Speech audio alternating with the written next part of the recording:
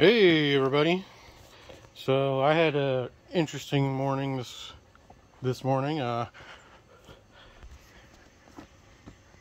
Yeah, that is my uh, power strip.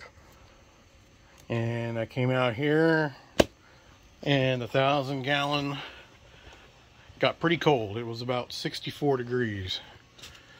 Um, I got the temperature going up a little bit.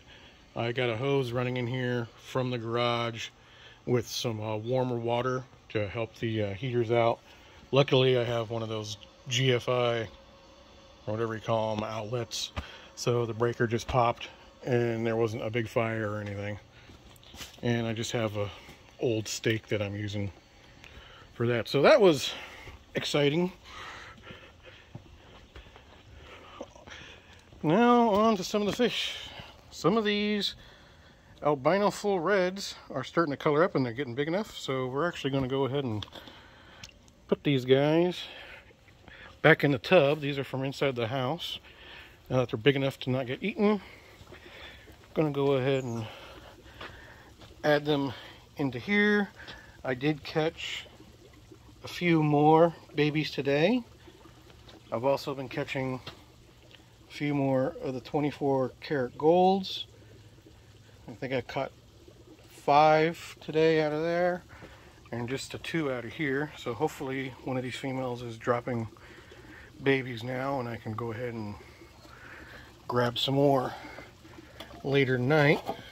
Come out and keep checking. Put these ones in here.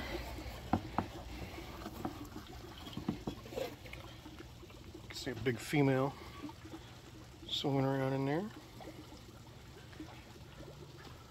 Sure wish I can get some more out of this tub over here. Like to catch some more albino bluetails. I caught two the other day. So I got a couple more in the house. But that's a pretty fish, so I'd like to get more babies out of these guys. Alright, well, that was the uh, excitement going on around here. I just thought I'd share that with everybody. Everything else is going great. So we'll do another video soon. Maybe do some close-ups on some fish on the next video.